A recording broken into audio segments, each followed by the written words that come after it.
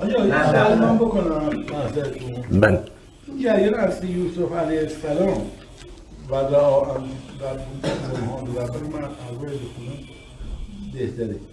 برهان رب چیه که اگه نبود واقعا؟ حالا ظاهرا من نمی‌دونم ظاهرا خود یوسف هم پاش میلرزید رعا برهان رب دارم.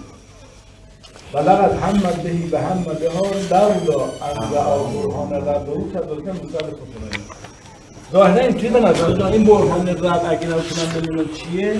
یعنی خود یوسف هم شب می‌زد صفحه 238 مثل اگه خود دیدی می‌زدی چی؟ من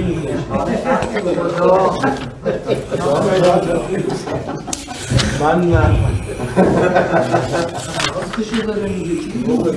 اگه به منم اگه به این دادم می‌تونم از دیگه فهم من حاجا وقتی می‌تونستم سیغه کنم می‌کردم ولی نمیشه من نمیشه نه من انشالله رها میشم ارزم بر کس علی دنبال این شوخی های چیزی بگم هنر پیشا درست کرده بودن گفتن آی سلح شور به کسی پیشنهاد کرده که یوسف رو بازی کنه. معذرت خواهی کرده و گفت من نمی‌تونم خواست زلیخا رو رد کنم. فیلم خراب میشه. شوخی درست کرد. هر حالا یادم اینش هم جزه این خود مصعب رو گرفته برای جنگ تبوک اون راست ما میام اونجا این رومی هم موبورن و خشکی ما نمی‌دونم بله گفت تو سور توبه هستش بله گفتن که لا تفتنی منو به فتنه ننداز خدا میفرماد الا فی الفتنة سقطوا و ان جهنم لمحیطة بالکافر ارزم برای که معمون رشید سوال کرد ببینید ما از جریان می‌خوام ببینیم با پیش داوری میریم جلو. یعنی همونجور که فرمودید بس که نتیجه رو می‌دونیم.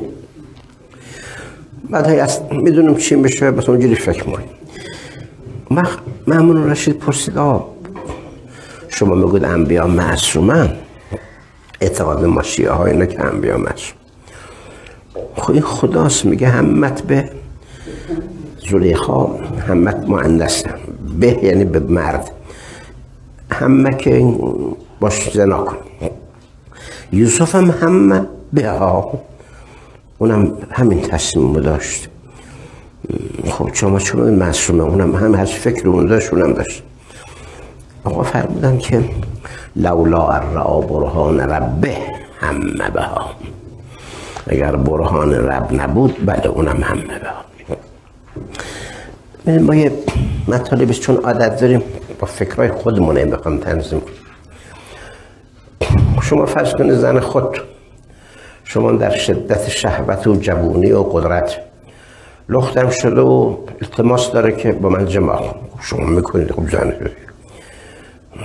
شدت. این همت به شما اون شما همه به ها آقا فرمود لولا را برهان ربه اگر برهان رب ببینید برهان رب این رساله هاست. حالا جلو ما ایناست جلو احکام الهی دیگه احکامی که بوده. گوه اگر احکام خدا نبود محمد بخ بله خب همین دیگه. آدم شدیدن گرسنه رسیده به غذا و آب خب می‌خوره. لولا این که میگن آقا غذا قصبه نمیشه بخوری یا نجسه نمیشه. شوخی درست کرده بود می‌گفت یه نفر رفت تو شیرین فروشی دیدش که شیرین های خامه و چقدر جالب و چیدنده اینا. یه نفر اونجا باسته اول با اون نفر واسه گفت پیش کرد؟ چرا جرم کنی گوه تو آدمی یعنی من مجسمه مکر خب بچه رو نمی‌خوری بیخوری خب قاعدش اینه شیرینی های بیخوره که خب بده. حالا داستان چه اینو بد بدونیم لولا رعا برهان ربه خب برهان رب برهان رب چه هم احکام شهری است که ما هم داریم این ترس از خدا ترس از قیامت همین هست بله خدا نکن یه بنده خدایی داشت بحث می‌کرد با من سر این که مثلا حالا بحث هایی که مثلا زن سیغه و نمی‌دونم دختر و نمی‌دونم از این حرف های اینجوری گفت تو حاضری به من که از این بار پنجه سالش تو حاضری تو مثلا زنت. یه شوهر دیگه بکنه مثلا که یه زنی دور. گفتم آقا جون من اون دهاتی احمقی نیستم که عصبیت جاهدانه داشته باشم. به خدا قسم اگر خدا راضی باشه الان مرد می‌برم. و وام میستم تا زنم و فلان کنم خدا راضی نیست. نه که من خریم و عصبیت جاهلی دارم اینا. خدا راضی نیست من نمی‌خوام. خدا راضی بود می‌کردم.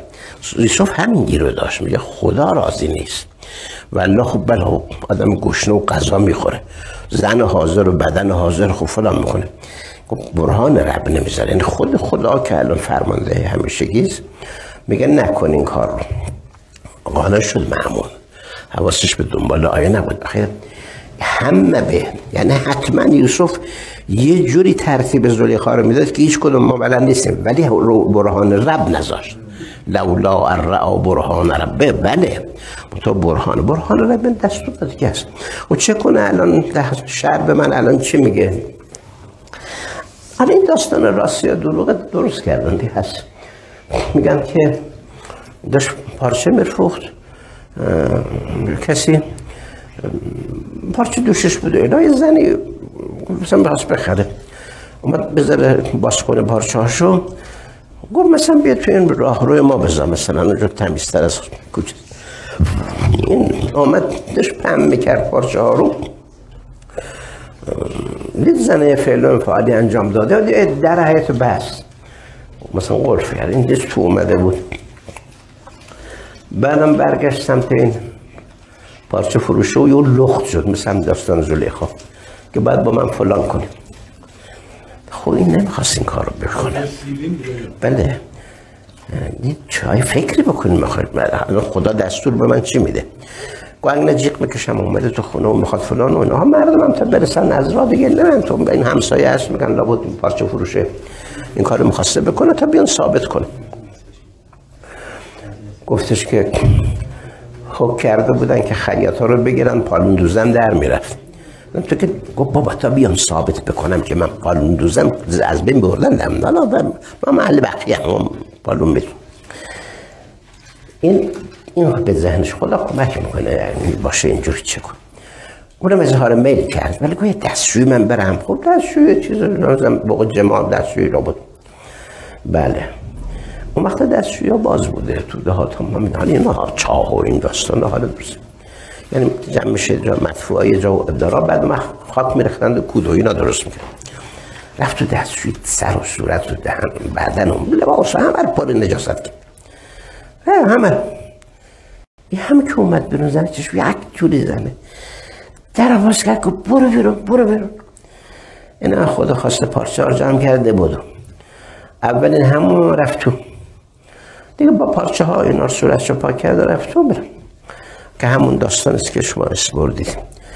میگن خدا تعبیر خواب بشه داده ببینید خدا من چه کنم بدم به این زن؟ آخه اینجا الان درباره اینم شخصیت دوم درباره خود زن شاست دیگه. الان چه کن بله ایشون می‌تونست یه مش بزنه تو گیجگاش. این که هیچی اصلا پیغمبران قوی بودن. پسر یعقوب همه قوی بودن که پیغمبرم بود. اون میمرد. ولی بعد مردن کار دستمون میده. میگن زن من کشتی و فلان اینا. ما می‌کشند یا چی به کی ثابت کنیم که این گفت بیا با من فلان کن.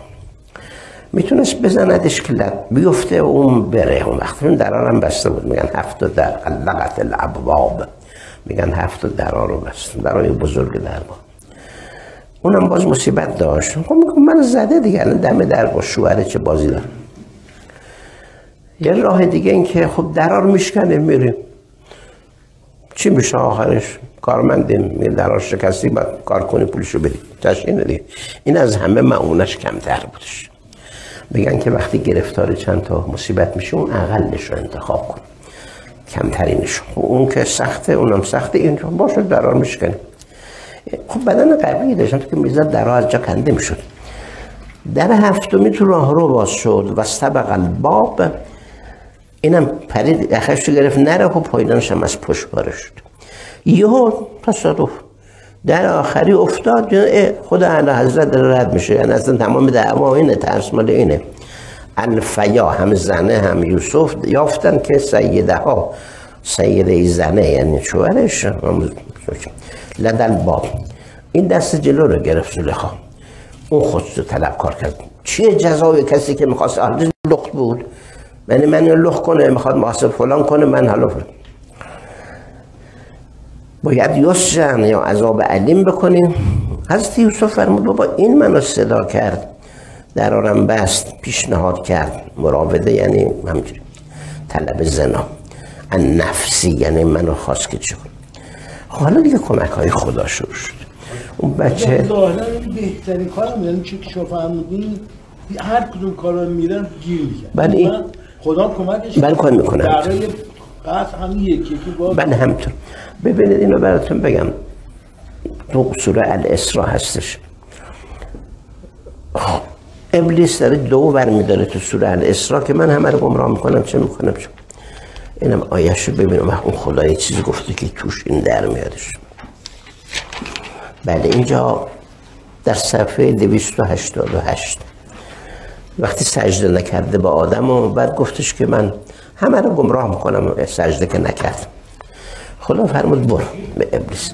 فمن تبعک منهم آیه 63 سوره الاسراء. هر که از اولادای آدم دنبال تو بیا تبعیت تو رو بکنه منم جهنم رو دارم جزای خورنده همین آدمای گمراه و تو برو همه رو با صدا جلب کن. اجلب علیهم به خیلک و رجلک با سوار نظام و پیاده نظام بتاز به این اولادای آدم. مشارکت کن در اموال و اولادشون و وعده بده. و وعده نمیده شیطان مگر گول زدن. این آیه رو میگم. ان عبادی لیس لک علیهم سلطان و کفا بربک وکیلا. اگه هر کس اراده کنه من گناه نمی‌خوام بکنم یعنی بندگی می‌خوام بکنم.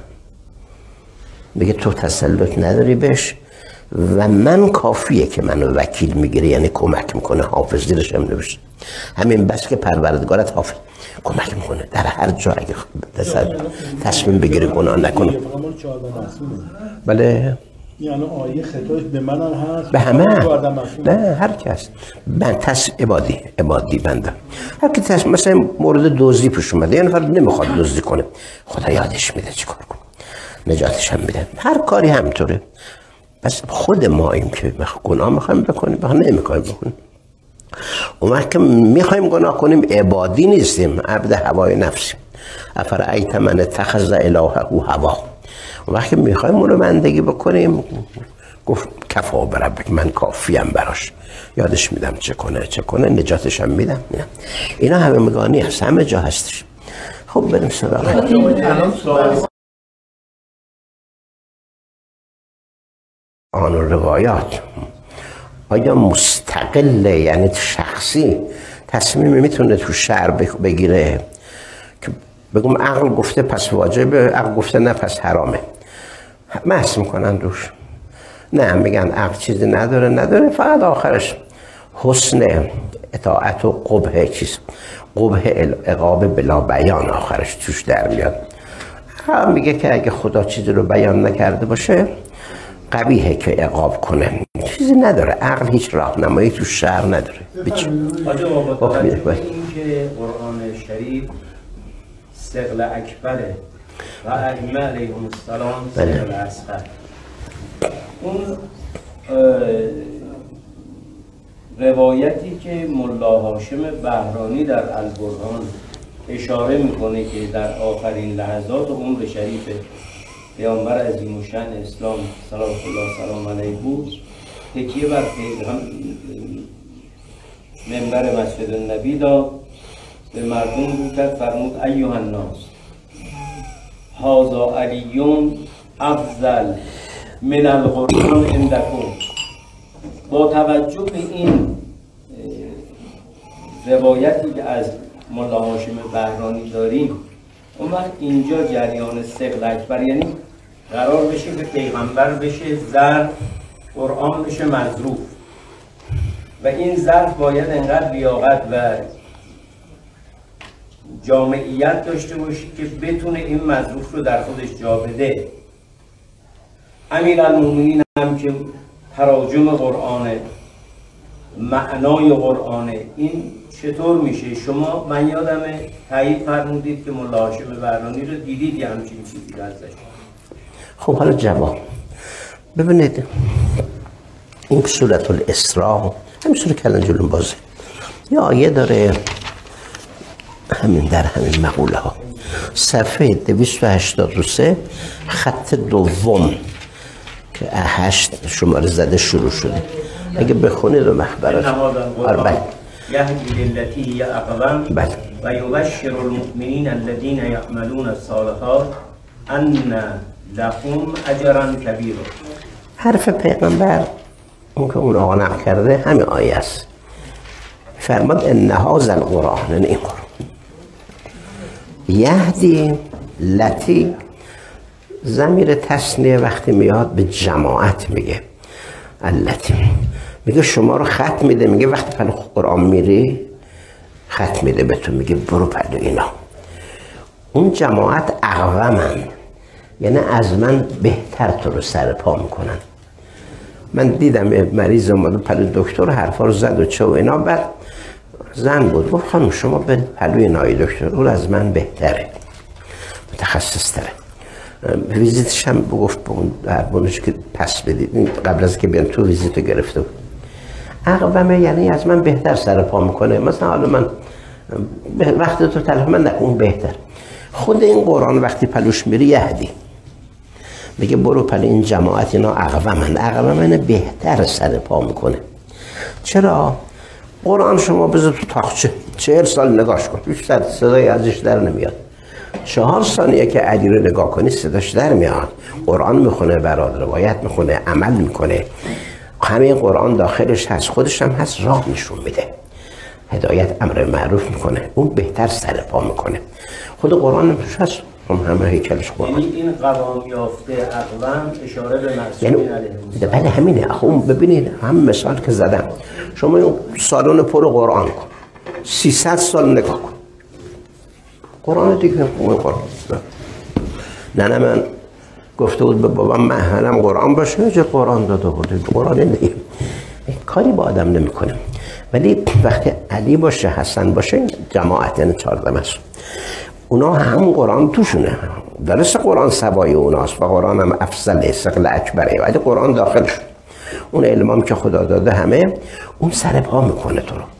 قرآن برات می‌خونه دستور رو میگه میگه اینه. این همونو میگه. اون وقت شما جمله رو بگو تو جمله بودش. پیغمبر چی فرمود؟ بود جمله. فرمودن یا الناس هذا علیون اشاره کردن. بله،. بعد هذا علیون افضل من القرآن عندکم تو اندکمه. تو اندکم. افضل از قرآن اندکم. اندکم. یعنی همجور قرآن بذاری. تو تاخچه تا گوساله بمونی تا آخر اون بوش قرآن حرف با کسی نمی‌زنه که بخونه. خود بخونی هم به قدر فهمت می‌فهمی و حالا غلط یا درست. ولی علی سلام علیکم. از این قرآن تو خونه این قرآن که حرف نمی‌زنه. هر سلی من قرآن ناطقم این قرآن صامت افضله یعنی چیش کنی؟ یاد میده بندگی می‌کنه اطاعت می‌کنه. قرآن هم براتون میگه همه هم میگه. این در ارشاد می‌کنه. واضح ترش آیه 64 سوره نحله سوره نحل آیه 64 مخلص جناب آقای فکری بر وسط تشوردن تون آیه یعنی بحث قرآن جدتون رو می‌کرد. ما داشتیم دفاع می‌کردیم از اجداد شما یه شما. ببینید. وأنزلنا عليك الكتاب إلا لتبين لهم الذي اختلفوا فيه وهدى ورحمة لقوم يؤمنون این آیه رو مهت نظرش و خارج نکنیم مطلب مهمه. خود خدا میگه ما انزلنا علیک الکتاب. ما انزلنا ما این کار- کتاب رو نمیرفستادیم به تو. مگر؟ یعنی اگه اینجور نبود نمیرفستادیم هیچ مگر اینکه تو بینم تو که اسم محمده. نند آمنه است. پدرت عبدالله است حواسمون باش به چی میگه؟ نمیگه شما ها تو بینه تو بیان می‌کنی بر لهم برا مسلمان ها اگه نکنی اختلافو فی. یعنی قرآن حب سرگردونه. قرآن جز گمراهی هیچی درست نمی‌کنه. صاحب تو باید باشی بیان کنی تا هدایت کنم. مهمه ها اگه تو نبودی بیان نمی‌کردی اصلا نمیرفستادم تو که بیان کنی حالا این دیگه هدن و رحمت لقوم یوم علی بیاد وسط و من قرآن معلوم بشه. بعد پیغمبر فرم اصلا پیغمبر تو قدیر فرمود بعد از من علی بیان می‌کنه برای شما قرآن. بعد حسن بی... این بیان رو خیلی مهم بگیرید. خب این از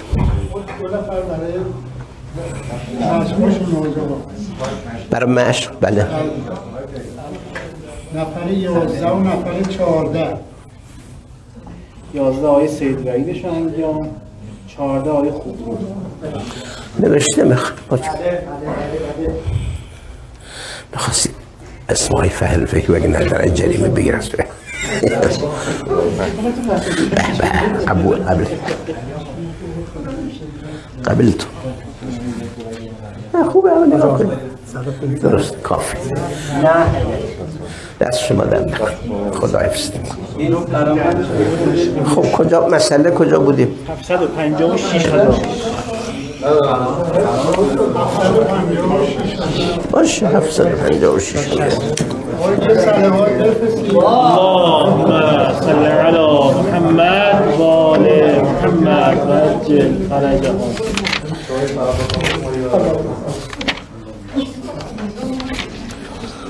نفر دوم. نفر دوم قیام بفرمند جناب آقای شهبازی.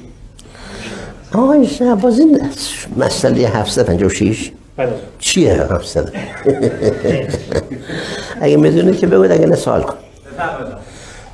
اگر به نیت نماز ظهر مشغول نماز بشه و بله دین از نماز یادش بیاد که ظهر خونده تکلیف چی اگه یادش بیاد که این نمی‌تونه برگردونه به اصل چون عدول رو به پس پسکیه یعنی از واجب به مستحب میشه از نماز جلویه به برگردونی میشه. ولی عدول نمی‌تونه عدول بکنه. باید عرض می‌کنم که نمازش باید بشکنه و باطل دوره از نو بله. و همین طور است در نماز مغرب و عشا خدا اجر یه نفر دیگه هست. نفر چهارده حضرت آقای خوب رو دوباره بیا. آقای خوب رو در بین نماز عصر یقین کرده نماز ظهر رو نخونده. بگوید بسم الله در بین نماز عصر نماز عصر می‌خونه در بین نماز عصر یقین کرده که نماز ظهر رو نخونده. اگر تا رکن نرسیده در داخل رکن نیتشو برمیگردونه به نماز ظهر.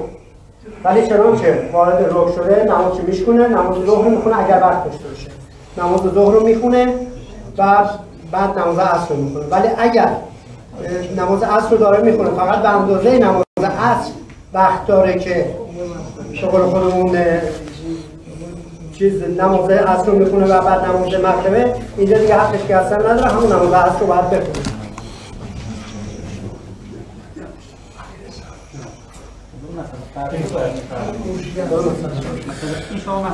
آقای ممنون آقای سیستانی میگن چنانچه یادش بیاید که نماز ظهر را خوانده بود؟ می‌توانند نیت را به نماز عصر برگرداند و نماز را تمام کند در صورتی که بعضی از اجزای نماز را به نیت ظهر نیاورده باشد. یا آنکه اگر آورده است به نیت عصر تدارک کند. ولی اگر آن جز رکعت باشد نماز او در هر صورت باطل است.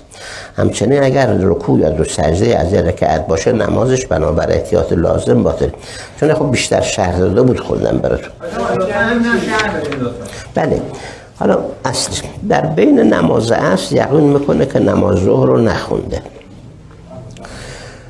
ببینید رعایت ترتیب نماز ظهر عصر و مغرب و عشا عمدی نباید به هم بخوره. صحب شب نداره.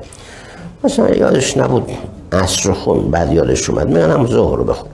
تو وقت مشترک مگر اون آخر وقت باشه که حالا بحث می‌دید مسئله دارید خودتون اگر در بین نماز عصر یقین دارم ظهر رو نخون. نیت رو به ظهر برگردونم. خب. و. بله. قبل از رکن. و نیت رو به نماز ظهر برگردونه و داخل رکن بشه. حالا خود رفته جلو. خب برگردونه به نماز رفته مثلا رکن رفته رکوع مثلا. بعد یادش بیاد که نماز رو خونده بوده. این دو تا شکه شده. یعنی اول اینجوری. نمازش باطله. چون این وقتی برگردون به نماز ظهر رفت رکوع بعد آدمی که نماز ظهر خونده رکوع نم... میبنده رکن نمازو. در واقع هم خونده اصلا باطل شده. بس کسی که وسط نماز ظهر اصل یقین کنه ظهر خونده. که چطور از میگن که نماز باطل. یعنی وقتی که به قصد ظهر ظهر داره می‌خونه وقتی یه خورده بره جلو باور کنه ظهر خونده این ظهر رو حواس. منتها یه وقتی وارد رکن نشده می‌تونه دوباره برگرده این مقدار اعاده کنه. بسیار. و باید نماز عصر رو بخونه. اگر پیش از داخل شدن در رکن یادش بیاد باز نیت رو به عصر برگردونه و اون چی به نیت نماز ظهر خونده دوباره به نیت عصر بخونه صحیح. من آقای سیستانی عرض می‌کنم. اون اگه از این که میگن که جز اجزا نباشه.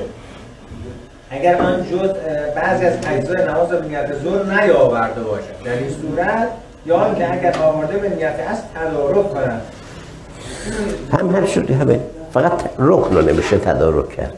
من وقتی مثلا سوره رو به قصد اون نماز خوندم حالا که فهمیدم اشتباه کردم دوباره سوره رو به قصد نماز بکنم چون سوره خرابکاری نه ولی وارد رکن بشم دیگه رکن.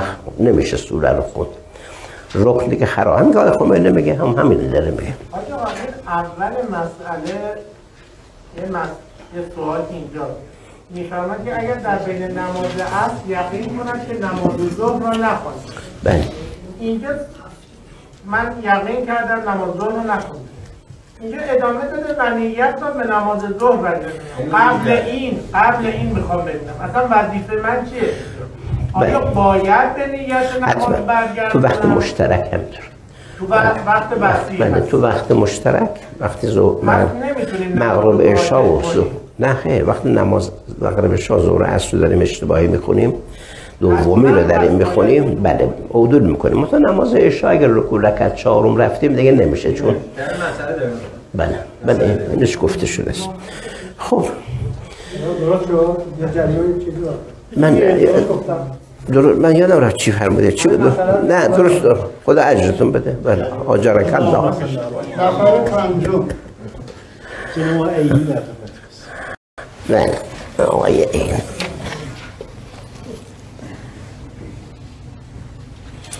اگر در بین نماز عصر شک کنه نماز ظهر خونده یا نه. چه بکنه آیا اینی؟ نماز عصر رو اگر در بین نماز نماز عصر شک کنه که ظهر خونده یا نه نمی‌تونه برگردونه. نماز عصر رو نمی‌تونه برگردونه. بلکه باید عصر تمام بکنه. اگر وقت کم باشه ظهرم در اصل قضایی نداره ظهرم خوانده شده طرف. خب حالا از رو بخون. همین که فرمودید از رو بخون.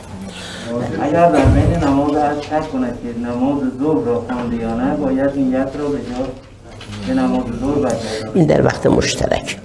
چون آخه وقتی شک اگر کنه به قدری کم است که بعد از تمام شدن نماز مغ- نماز مغرب می شود باید به نیت نماز عصر نماز را تمام کند و نماز ظهرش را.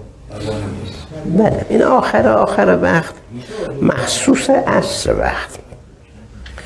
این مورد دوم داره نماز عصر می‌خونه شک می‌کنه من ظهر خوندم یا نه ولی وقت نماز ظهر گذشته چون چهار رکعت آخر مخصوص عصر. نخونده باشم اون قضا شده. حالا از شکم داره.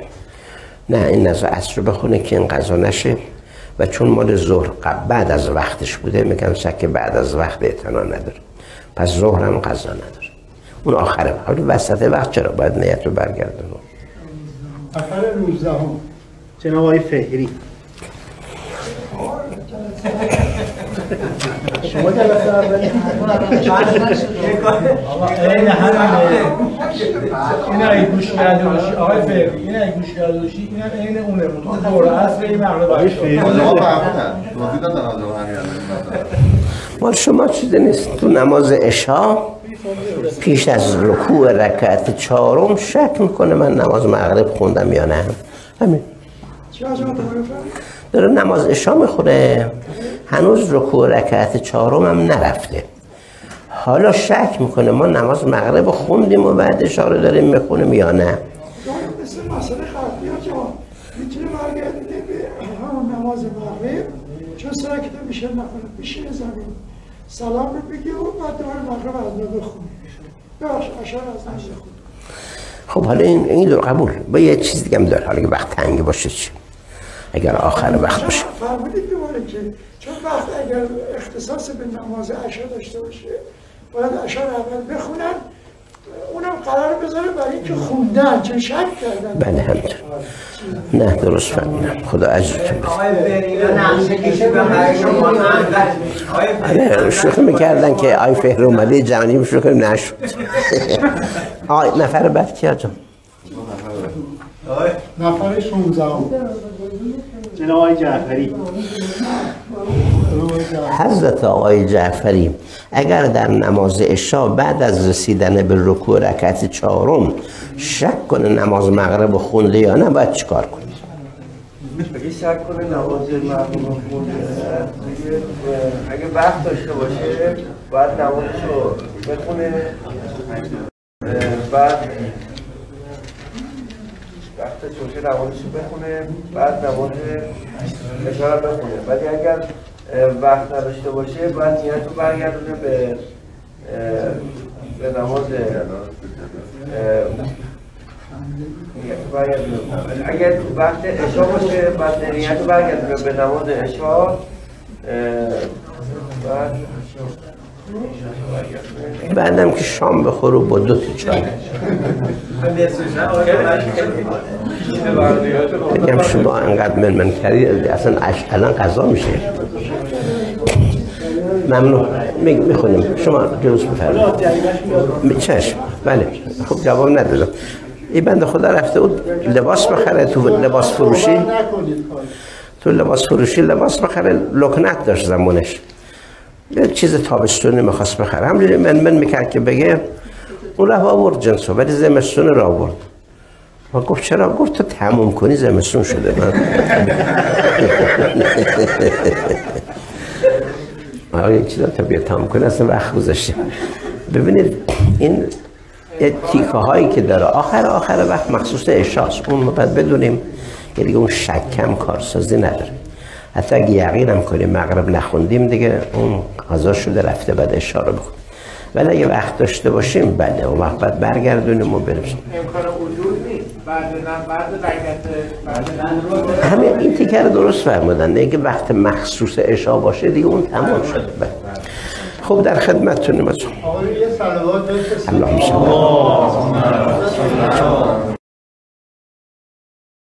می‌خواد چیزی می‌خواد راجع به این آیه بگم من؟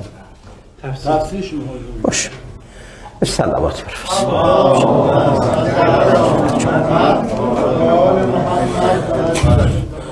خدمت شما اشفت که خدا توفیق داد ما یه دور تفسیر مجموع البیان و همه رو دیدیم چیز کرد چون بعد میخوندیم مثلا مجموع البیان.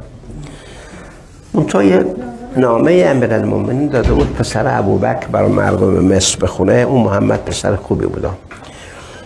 اون نامه تو امالی شیخ مفید هست. چند ورق هم هست. خیلی نامه, نامه عظیمی هست. خیلی مطلب توش هست. خیلی. دو تا از مطالب اون نامه رو آی خمینی تو وصیت نامش آورده. اون خیلی نامه توش مطلب زیاده. مثلا حالی که دوتاش که مهمه بگن. آقا تو اون نامه نوشته به مردم مصر بخونه. یکیش اینه. هر که بخواد بمیره این فرمولیس بدونه.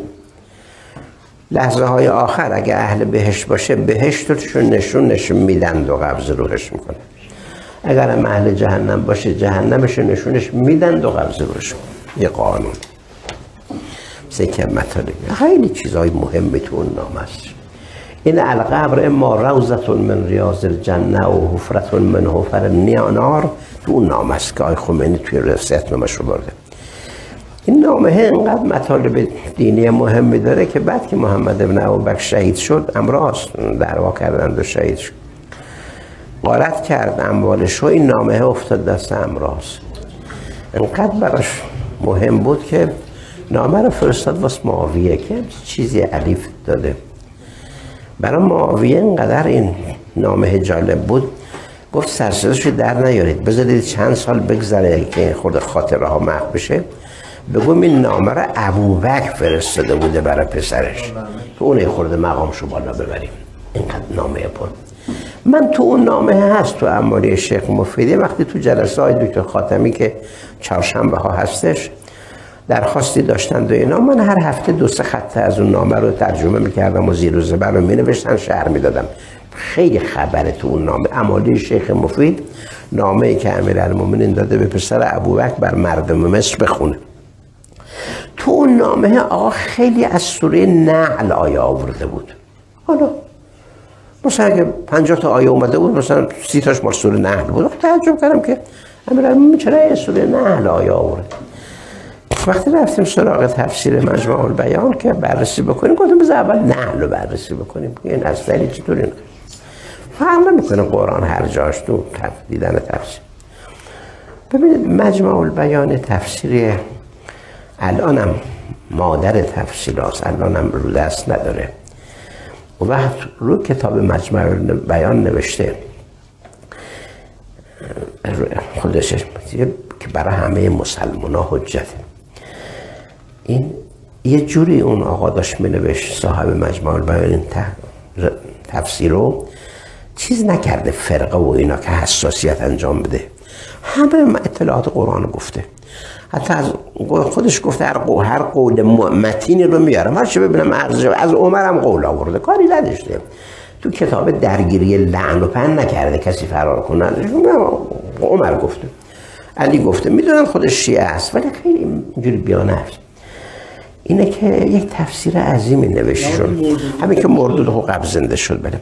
چون گفتش که به خدا قول دادم تفسیری بنویسم که هیچی کم نذارم. و واقعا این کاری کرده. ها این کارو کرده. اول تفسیرش هم میگه اول اول که شروع میشه. میگه این تفسیر من هر چی بخواید هست توش. شعن نزلا هستش اختلاف قرائت ها هستش. تمام قولای متینا آوردم. هر استدلالایی که به تو عقاید با آیات میشه تو آیه ها گفتم. خب این تفسیر خیلی از اون این وقتی که از قبر آمد بیرون و اون شاه هم فهمید که اینجوریه فهمیدن که چه شرط به خدا گفته خدا نجاتش معجزه وار داده. گفت هر کمکی بخوای من می‌کنم بهت شاه گفت. خواست که هرچی تفسیر تو کره زمینه برم بیارم دیگه پول بخواسته اون کرد هر تفسیری هر جا بود هر که بخواه نوشته. عمر نوشته فرمش فرمش تفسیر رو بیار همه هم جلوش بوده اون علما کمکش کردن.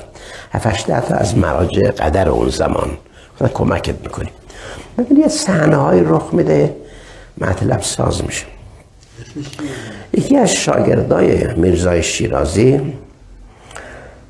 با درسی و خیلی با سواد و چه همه آقای حائری که اومد اون حوزه درست کرد.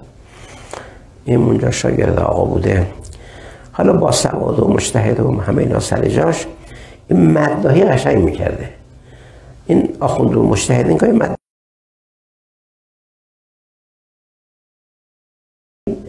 مد وقتی وقتی که مناسب بوده گفته که بخون آیا آری خیلی خوب میخونده مثلا مراسمی بوده. این این در مرزی که مثلا دیگه شخصیت دوم حوزه اینقدر با سواد بوده این آقای هایری تو اون حوزه. این چه مریضی می‌گیره سر سل بوده چی بوده که معالجه نشده نشده و گفتن آقا مثلا در روز دیگه میمیری اینقدر وضعش خراب شد فکر کرد که حالا خیلی مثلا تلفظ و اینا هست گفت من قبل کنار قبر هور اونجا ما رفته بودیم مثل شب تو کنارش حجره حجره است. گفت که از این حجره ها باشم. یا الان میمیرم یا دفن بمیرم دفنم کنم هور رو خواب دید. گفت عشق عبدالی کریم اگه از خدا شفاعت بگیرم میری ایران و حوز تأسیس کنی. مثل که یه خیر اینا رو نگیرن کاری نکنن اون شاید مجموعه هم تو تو قبر فهمید که مرده و دیگه نز کرده اینا. قول داد. صبح پا شدید هیچیش نیست. ساده مثال خب ولی این اومد ایران. اول هم رفت عراق اون حوزم که اونجا ایجاد کرده هستش هم حوزه. خبرها رو مردم شنیدند. که آقا این داشت میمرد. هیچ جورم معالجه بشه نبود. هر کرده. مردم کمک می‌کرده. گفت برو حوزه درست کن. این مهمه ها بگاه زنه یه هرچی داشت گفت این آشقا بره خور گفته حوزه هرچی می‌خواد خرج حوزه خرج داره مردم. این کمک کمک های مردم کمک های اهل علم. ما اهل علمم که بخوام کارشقانی کنن خدا نکرده حسادت کنن دیگه جرأت او رو نمی‌کنن. یعنی اینا شبا گرفته اینا این چیزی نمیشه. این که موفق شد اون خواب مردم میشه. این از قبر آمده و صاحب مجموع البیان فهمیدن همه واقعا باید بمیره تو قبر. که اون اومد درش آورد و نام کفن دوزه کمک می‌کردن راستی بشنن پای خدا وسط و اینا. هفتش از مراجع اعزام نه آدم معمولی خیلی سواد می‌خواد. شب و روز ده سال کار می‌کردن. تفسیران می‌دیدن قولار در میبورن خیلی ادبیات قوی داره. یه وقتی این آمرزا نبوی و چند تا دم شده بودن میومدن خونه ما گفتن که مجموع رو شما به ما درس بدید. اما اون قسمت ادبیات و اینا رو نمی‌خوام نمی‌فهمیم اونا رو. همینطور بود. ادبیاتش بدی کسی باشه که ادیب کل باشه تا بفهمه اینا چی میگن. در قسمت ادبیات. آخه ادبیات قرآن داره روایات داره چی داره؟ اون المعناشو حالا آخه این طول می‌کشه. منم بنا داشتم که ولو 300 سال طول بکشه و من بمیرم تو این راه باید تمام مجموع بیان بفهمم. حتی یک هم شده براز نجب برم قم برم. بمیرم باید این کلمه رو بفهم. اینجوری از شروع کردیم. من نتیجتا قرآن هم می نوشتم هرچی تمام می شد مستحب آدم اینجور قرآن رو بنویسه. که نوشتیم تمام هم شد. البته در خلال این هرچی تفسیرم بود بدیدم تفسیرهایی که داشتم تو خونه. ولی خوب مجموع بیان بود. 17 سال طول کشه. 17 سال خرخونه نه اینکه ناز و اینا اینقدر بخون که چشم در بیاد جون در بیاد یعنی اگه بشینی شما فقط من نگاه کنی هسته میشه شما که دارم مشغول است. چاره نداره خب بخونیم دیگه اینا رو ببینیم اونو ببینیم اونو ببینیم وقتی از این کتاب از اون کتاب از اون کتاب ادبیاتش چه چه چه ما نوشتم من برو شما بیاید خونه و یادتون بود بگن من بزنم مجموعه باز کنه هر صفحه رو می‌فهمید چقدر توی صفحه کار شده. جمله کجا تمام شده این جمله کجا شروع شده لغت هایی داشته اونجا نوشته شده. این آیه چند خیلی قرآن توش به کار رفت. خب حالا این موارد. من یه آیه از قرآن انتخاب کردم که انجیلون بودش. توی سوره انعام این تو کار تفسیر خیلی کلیدی هستش. آیه. کلیدیه یعنی چون اونجا بحث میشه چی؟ اینا استدلال از خود قرآن. قرآن کریم آیه صد و خورده هست. آره دیدم الان صفحه 142 قرآن. 142 رو بیارید. وسط های صفحه آخر آیه 114 زده. آیه اولش اینه افغیر الله ابتقی حکمن و هو الذی انزل الیکم الکتاب مفصلا. حالا بعدا می‌بینید گیر من حرف من سر مفصل هست مگه قرآن دروغ گفته باشه؟ اگر نخوش شوخی نداریم دیگه. میگه این کتاب رو من باز باز کردم چیز مجمل نداره. خب حرفی داره خدا دا ادعا می‌کنه مفصل. یعنی چیزی نداره که نیاز به روایت باشه کسی باشه. این قرآن کرده میشه. مفصل دیگه. وقت این مهم بود. نوشتم جلو چشمم. همه چی تو قرآن در میاد. بعد زحمت بکشیم چه تنبلی نه. خود خدا میگه این کتاب من بازش کردم. مفصلا الذی انزل الیکم الکتاب. مفصلا کسانی هم که ما کتاب دادیم یعنی یهود و نصارا می‌دونن که انه منزل من ربک بالحق. این قرآن تو از طرف ربت به حق همه نازل شده. لا تکونن من الممترین. پیغمبر شک نکن. این کتاب کامل حق مفصل همه چیز گفته شده. و تمت کلمت ربک مورش اون گفتم براتون اون هفته. آیه رو می‌خواستم ترجمه کنم. گفتم این آیه که الان ایشون فرمون من بگم. الان بیام جلو من که من درس بکنم آیه اونجاست؟ یعنی ای میبینمش خیلی مهمه کلیدیه اینا. آره. چیه همین آیه؟ اعوذ بالله من الشیطان الرجیم. ما کان الله لیذل قوما بعد از هداهم حتی یبین لهم ما یتقون. هر امامی که از دنیا می‌رفت. شما ما رو نگاه نکنید شیعه هستیم و قبول داریم و تسلیمیم. زمین رو به آسمون مینداختن که امام بده نه دشمن ها دروغ نیست ولی کن امام کجا بود اینا؟ خبری بود اون وقتا. من ائمه به این آیه استشاد می‌کردم. اگه خداوند تا دیروز یادت داد که امامت کیه ما کان الله. خدا اصلا سیستمش اینجوری نیست. کان یکونون بالا عادت مال دیمومیت مال همیشه کیست یوذل قوما تا دیروز میشناختی امامت امام هفتمه؟ الان که مرده نه دیگه گمراهید برید پی کارتون نمی‌دونم. میگی هداهم. الان هم, هم هدایتتون می‌کنه. یبینه مثل روز براتون روشن می‌کنه. مایت تقون که امام بعدیتون که کجا باید تقوا به خرج بدید چیکار؟ این هر لحظه تو زندگی ما هم هستش هر لحظه. نه گمراه باشیم نخواهیم بریم. اگه بخوای کار درستی داره انجام میدی از نظر تقلید و مرجع به محض که اون مرجع هم از دنیا بره خدا گردن گرفته که من راهنمایی بکنم. این مهم ها کلیدی میگم این. مگه دروغ باشه این کتاب جمع کنه بریم شوخی نگیریم خب مهم دیگه میگه ما کان تو از اول خلقت تا قیامت من اینطورم شغل من خدا اینه. اگه هدایتت کنم ولد نمی‌کنم. اون بمیره میگم بس کی چه کار کنی؟ و بیانه مثل روز روشن می‌کنم و خیلی کلیدی این آیه. خب حالا یه سلامات برفسته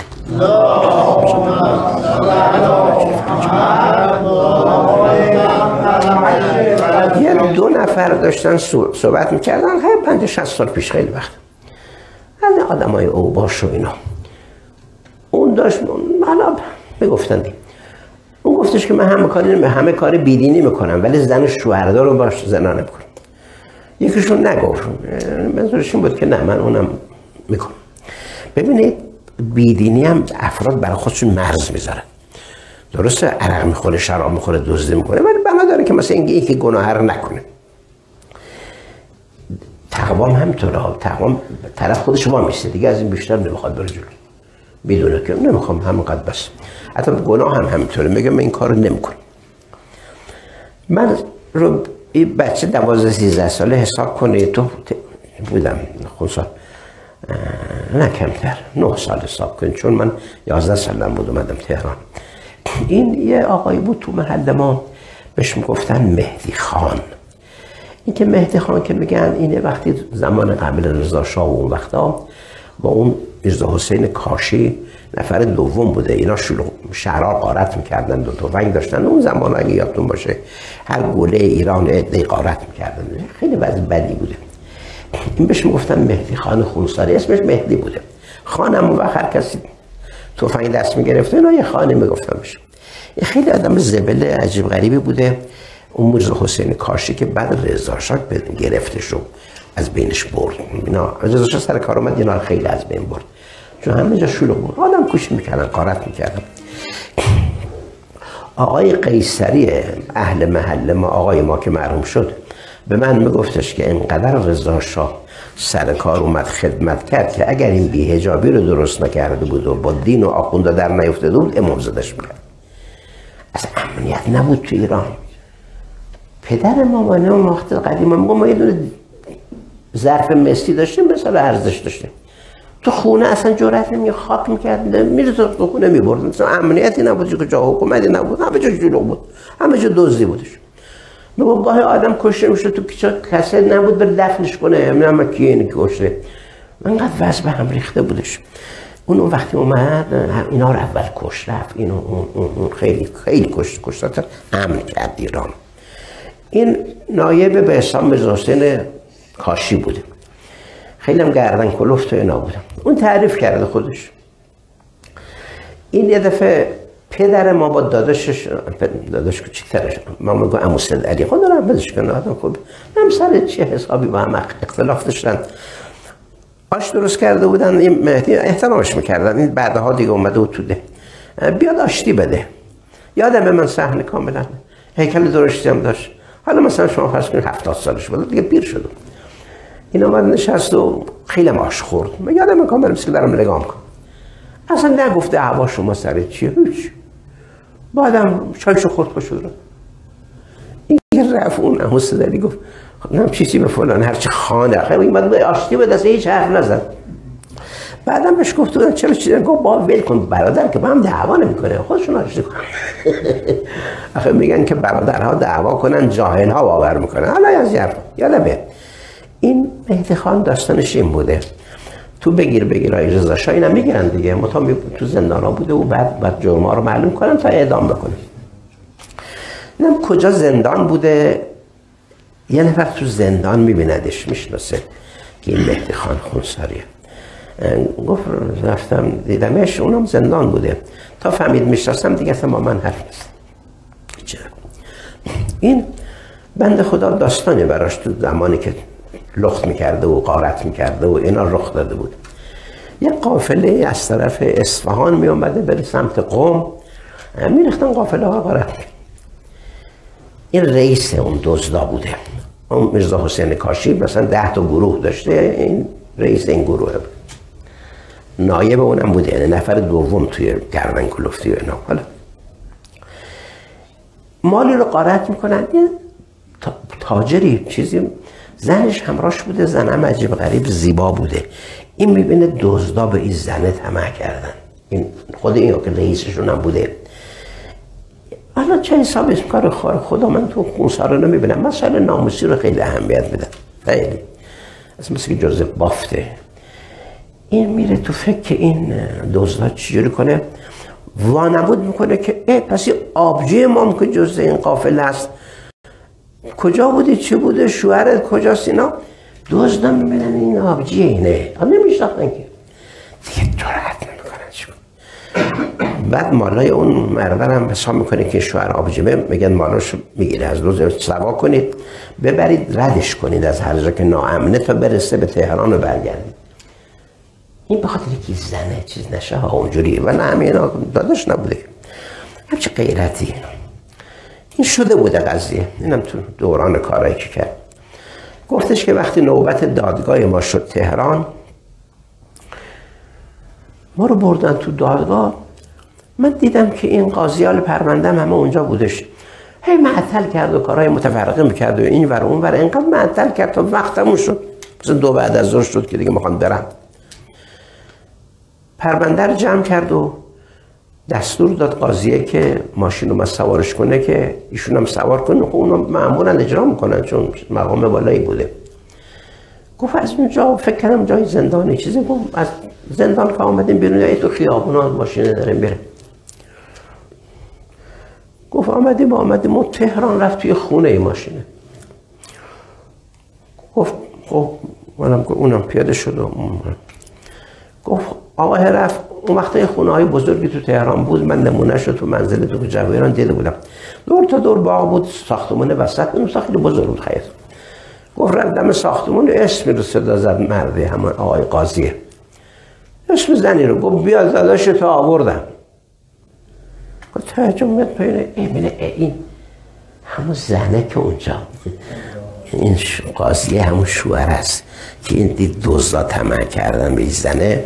گفت این داداش منو آبجی منو فلان حمایت کرد این کاره. این همونه. شناخته بودش که این همونه. این بند خدا تهران قاضی شده بود قاضی بود. گفت این بند خدا خوب همیشه این خاطره ها میمونه ها چون اینکه کمک نشده بوده چه بازی سرزنه در می آوردن یا اصلا زنده میموند یا نه. همیشه هی خاطرش هست. گفت چقدر شیفتگی و داداش و فلان. گفتش که این بند خدا تا صبح نشد بخوابه. هم تو پرونده منو ورق می‌زدی عوض می‌کرد. نوشته ها دست می‌برد توش خط می‌زد مینوشت. یه پرونده درست کرد که فردا ما تبرئه شدیم. قاضی خودش درست کرد. فردا با ماشین باز آوردیم و ما ده صبح دیگه تبرئه شد به من گفتش که بمون پلو ما. بمون کار برای شغل اینا. خودش هم بعدا پشیمون بود که چرا نموندیم. یه ما امکانات کاری هم می‌کردیم. دلش می‌خواسته بیاد تو ده اونجا محل و اینا. گفته نه من برم و شکر این خب آزاد شد اومد اونجا. آزاد بود تا آخرم بود. به مرگ معمولی از دنیا رفت. اگه نه از اونایی بود که حتما کشته می‌شد. اونجوری ببینید داستان چجوری میشه؟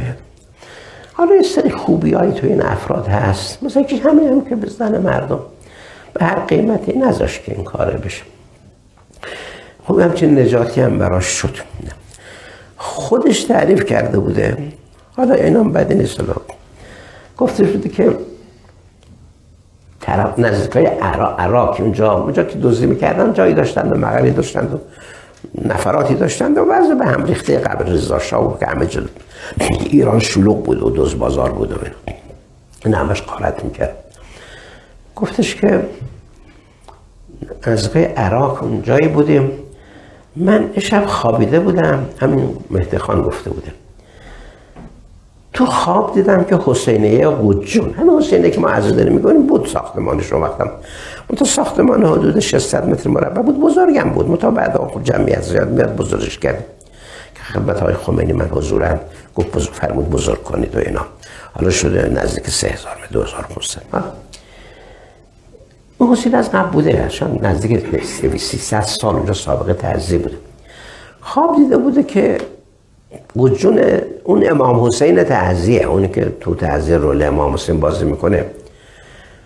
اشاره کرد به همین تو خواب گفتش که مهدی اون گنج رو برو وردار. این دستش که اونجوری کرد این مسیر دستش قباخونه رو دیده بوده سه چهار فرسخه عراق. تو خواب دیگه. ما به قدر از این خواب پریدیم حیران زده اسمم حاضر چون آماده بودم برای دعوا همیشه. پریدیم رو اسب و ده بیا سمت اونجا. گویا چند کیلومتر که راه اومدیم حالا بیدار شدیم که آقا یه خوابی دیدی آخه شبی کجا میدی گنج فلان. گفت دیدم حالا راه که اومدیم خواب اونم که رفته بسید چیه؟ میرم خواب اون است نگاه می‌کنیم نبود بگو گفت رسیدم تو قبل خونه شب بود دیگه. در صدای خرخر میاد خرخر گوستان سر می‌برن همون لحظه که سر می‌برن یه مقدار حلقش خرخر می‌کنه اگه دیده باشید حالا. همچه صدا میاد. گفت یهو دیدم یه آدمی رو الان سر بریدن. الان من خرخر عمز می‌کنه. ولی بریدن سرشو این از ترس اینکه این که سر بریده مسلح نباشه تیر نزنه تاریک بوده دیگه. حالا بلدن دیگه. میخوابه رو زمین و دستو بلند کن چی بار ببینه توفنگ داره یا نه. دیده بود که نه صدای تیر نیومده هر کی نداره. گوشش می‌ذاره زمین. اینا من بلند نیستم از اون تعریفه مدد شدم. صدا پای فرارش رو می‌بینه از این وره. نرفتی بیابون و دوزی و اینا راه بسن صدا زمین به زمین به از ور داره بینه پا میشه به اون طرف تاریک هم بده واس واس میده پیداش می‌کنه. اون توفنگ نداشته. میگیردش خلاص. حالا گرفتمش از ترس اینکه قوی نباشه و منو نزنه احتمالات اینا. توفنگ ها وقت بلند بوده. گفت چند تا از این توفنگ ها تو کمرش رو اینا که افتاد. نه چیزی نیست. اونجور جونی هم نداره که با من در بیفت. دستگیرش کردم چرا سرشو بریدی؟ حالا اصلا چیز نیده بوده سر. گفته بوده گفته بوده که یه تاجری از اصفهان هشتاد تومن پول داره. می‌رفته که نم کاشان چی پولان عراق جنس بخده هشتاد تومن وقت بوده گفته بوده با من هشت عباسی کرده بوده که مثلا من خیانتی نکنم. برای تجارت بیاد من راه بلم من راه من شد دو شب خوابیده بودیم شیطون منو وسوسه کرد و یهو پاشتم سرشو بریدم پورا رو برشتم دردم تو رسیدی. میگه حالا هر لباسی می‌کنی سر طرف می‌بری. پولم ازش می‌گیره خودشم گفت به دنبال اسبم بستمش حالا اسب میرم یه بعد بوده. یا بخور زمین یا بودوه با یه زجری بردمش تا چیز همون مقررش. بعد محاکمه کردم و آدرسش که آدرسم گرفتم که کجای اصفهان بوده اینا. بعدم دارش دادم نصف شبی خودم. از قانونی نبوده دیگه. گفت زده آدم کشتم داد دار زدیم گفت خیلی خسته بودیم خوابیدیم. سر صدای جمعیت بیدار شدم. دیدم مردم میاد میشه این ولی دار دار دار چیز ترس داره. دار دار چه خبر اینا؟ ای کیه چه چرا دار زدی؟ حالا به هر مردم جمع شد. نه اصلا بازی کرده کشته فلان هر گفت خوابم برده بودم. این چی در دنیا میگذره؟ بالاخره هست عباس من خودش دفاع می‌کنه. این برش هست عباس که بخواه بی بشی اینجوری میشه. به خواب این مهد خام میاد. اینم آماده کاراش که بوده بیاد لحظه کارم گرفته گفت گفت با اینکه کارمون دزدی بوده تمام پولر بردیم دادیم به خانواده. از جرأت نمی‌کردیم که نگاه کنیم. خودم دیدم. هر بازی چه بازی سر قبلی در آورد؟ گفت نه پولر برده من بدیم به دنیا چه خبر میگذره چه بساتی داره میگذره اینا. حالا خدا مخواستیم من به خدا با این صفات خوبی داره آدمی که اون از اون زنه چی شده اون پوله و اینا. گردن کلوف بوده دوز بوده ولی صفاتی خوبی کارایی که باعث نجاتش شده. این آخر زندگی می‌کرد که شد وضع مالیش هم شنیدم قر خوب نبود. کارم می‌کرد و اینا. ولی خوب بهش احترام می‌کردم. بهش بودم یه متخان قیافه کلی هم داشت. با با پسرش آشنا بودیم پسری داشت. اون با خیلی اونم البته مرحوم شد الان. حالا برگردیم به اصل قضیه. ببینید خداوند هدایت می‌کنه اگر رشته رو کسی نبره. یه وقتی رشته رو می‌برن اصلا کاری به خدا ندارم اونجا خب خودش نمی‌خواد. اگه چند تا سر نخل وصل بکنه شخصیست دیگه اون وقت باب نجات میشه. مثلا هور همینطور شد نجاتش. هور رفته بودیم سال 80 و چند کربلا با کاروان و اینا. اون آی ایمانی و دوستان اینا بودن. اینا اون وقت صدام سر کار بود. اتوبوس ها که سوار می‌شدیم چند تا مأمور توش بود. میگردوندند و بعد برمیگشتیم هتل و اینا. اون من یه روز بنا بود که کربلا میریم زیارت. صبح بیام برای صبحونه شیش. اون من بعد صبحونه بریم هور. بنا بود. مثل که بچه گوش و حرف من بودم. سر شیش اومدم دارم نیومدن کسی. خب باش بامسیم تو بیا. این بند خدا که مامورای صدام بودم دوستاتشون یکیشون همچین قیاف هست خب چیزایی همچین آدم دلش میساخی بند خدا. بعدن پولی هم من بشه یواش که دادم. و اینا خیلی همچین حالت محبت. و حال آدم ها مختلفن دیگه. اینم چیز نه اونجور خباست. و اینا خب مامورو این داشت تلویزیونشون هم حرف می‌زد عراق. گفتش که خب تلویزیون می‌خواد ببینید. رفت گفت این هور که شما می‌خواید برید امروز گفت می‌خوام هور بریم. اونم خودش می‌دونست چون بعد با ماشین نمیامدش گفت آقا این خور نزدیک های ما محلی که پدرش رئیس طایفه بوده و محل و اینا هنوز هستش. اون می‌گفت این شخصیت اجتماعی بوده پدرش و خودش و اینا. یعنی رئیسی چیزی بود از صاحب مثلا یه دهی فلان اینا. و محلش هنوز هست. این خب پهلمون بوده و سرباز تربیت می‌کرده و و بنی امیه هم خوب استخدام اونا بودن دیگه. خودش دو هزار تا سرباز هم داشته هر این دو هزار تا سرباز رو دست کم نگیرید. باید بتونه اینا اداره کنه. هر روز هم تمرین نظامی کنه برای جنگ ها می آمدش خود این سربازای هر نذاشتن سرشو ببرن. هر که توبه کرد و مد خب سربازاش که بعدم فقط داداشش باش اومد. پسرش آورد. اون غلامی هم داشت. اون اونم اومد. این طرف. بقیه که بودن اون خور وقتی شهید شد اومدن سرا رو ببرن ببرن. دیگه لشکرش چیز کردن؟ سربازاش. نه برای چی سرش رو کشید رفت دعوا شد درگیری شده به عمر صد گفتن آقا بخوام سر اینو ببریم دو هزار تا شمشیر در بیاد حالا چقدر کشت و کشتار بکنیم؟ دیگه میگن صاحب ماست نباید ببرید. چیکار رو سرش ده عمر صد ول کرد گفت ولش کن نمی‌خواد اینکه آوردن قبرش اونجا سربازاش آوردن اونجا دفن کردن. این مقدار دور از کربلا تا یه مقدار آوردن دیگه اینجا دفن کردن دو رفت سرباز هر. حالا باب نجات هر چی میشه؟ ببینید این مثلا معاویه قانون کرد جدی به همه جا. که کسی اسم علی نذاره رو پسرش یا چه؟ نه اینقدر خودباخته نبودش. خب غلط کرده مرد. که اولا علی تو قرآن هست لغت خوبی است بعد خب علی که صحابه است. داماد پیغمبر شد می‌خوای اسم به اسم تو چی کار داریم؟ ببینید اسم پسرش رو گوشو علی. یه علی که شهید شد اسمش علی بود.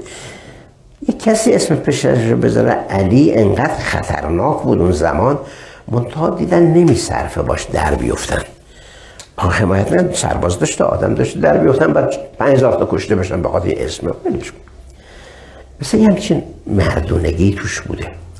یه وقتی آمدش با امام حسین میگن که اگر عمر صد عبد الله زیاد اگه با جربوزتر شجاعتر فهیمتر از خور پیدا می‌کرد اونو میفرستاد جلو امام حسین. این که نفر اول می‌خواد بیاد جلو رو بگیره خیلی فهمیدگی می‌خواد.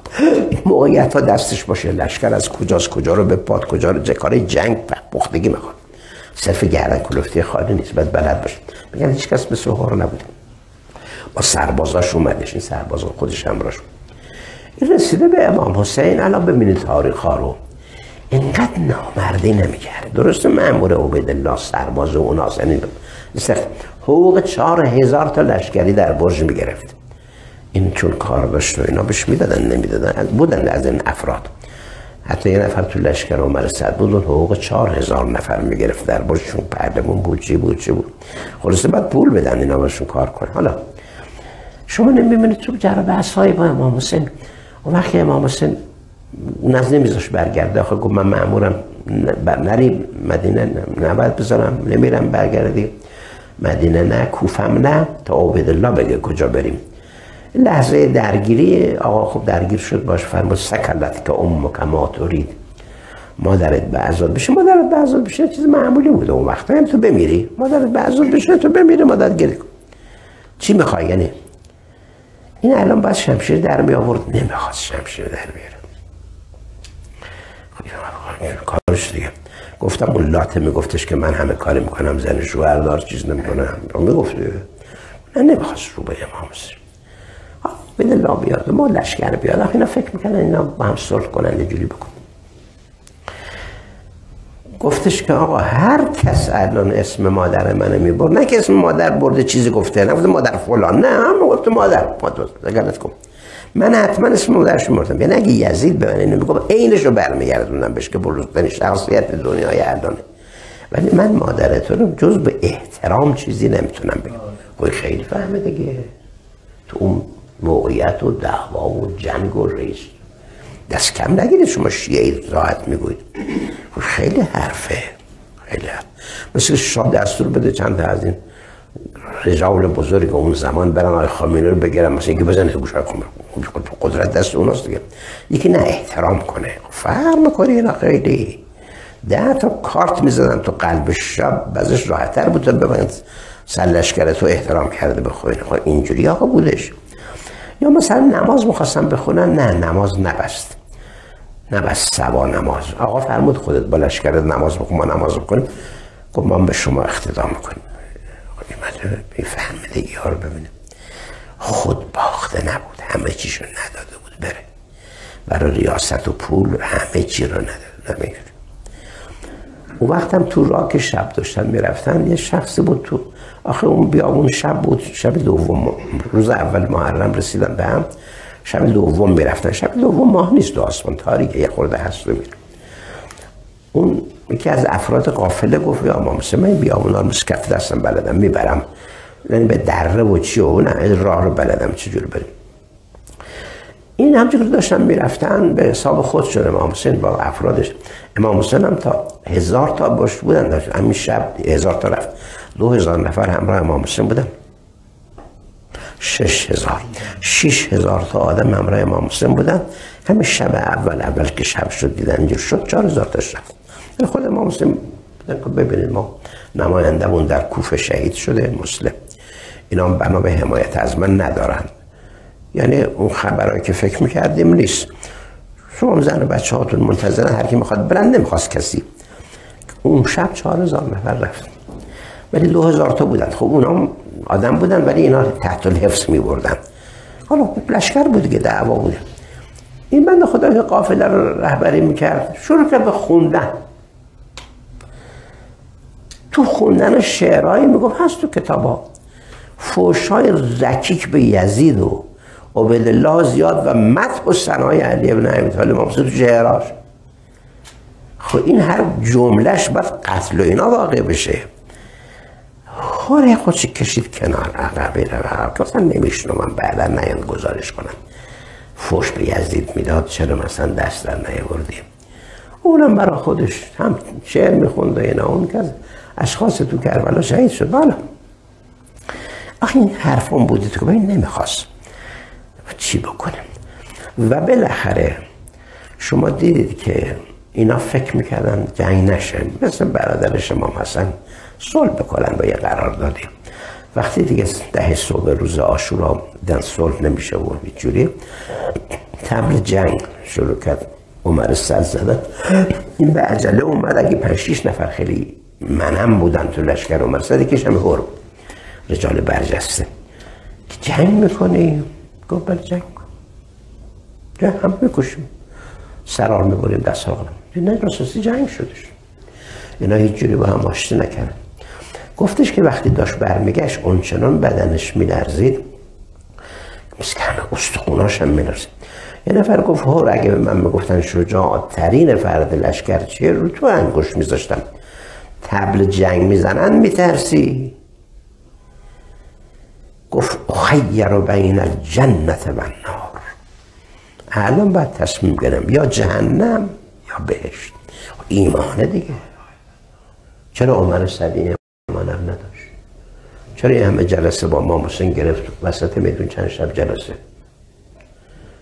این قبول داره بهش جهنم و می‌دونه امام حسین امام حقه و درست می‌دونه اون باطل خوب ایمانه. الان اگه واسه با اسپانی هم بوده حتما میره جهنم. خب ببینید این ایمان حفظ شده بود دیگه و همین باعث نجاتش شد. تصمیم آخر اینه که بریم سمت امام حسین. میریم دیگه حالا توبه قبول کرد نکرد هر کاری هاش گردن منو می‌زنه. باشه. حرف نداشته وقت آمده بود گفت امام حسین میگه عباس بزن گردنش آمده بود. گفت تو قبول توبه من قبول بشه هرچی. ببینید این به خود اشخاصه. دینداری های مردم هم همه همطور. مثلا یه دیزه نماز بخونن. خب سینا نمیرن که می‌دونن؟ نمیرن می‌دونن اینا یا مثلا مکه نمیرن یا مثلا یه بار میرن بعضی نماز مثلا چی؟ مثلا روزه رو می‌گیرن نمیرن. تماممون همینطوری ما. می‌دونیم هم همه چی رو. بعضی تو یه مقدار میرن جلو یه مقدار نمیرن بعضی بیشتر میرن بعضی بیشتر میرن بعضی بیشتر میرن تا خدا هدایتش می‌کنه شما بخوا هدایت می‌کنه اللهم صل علی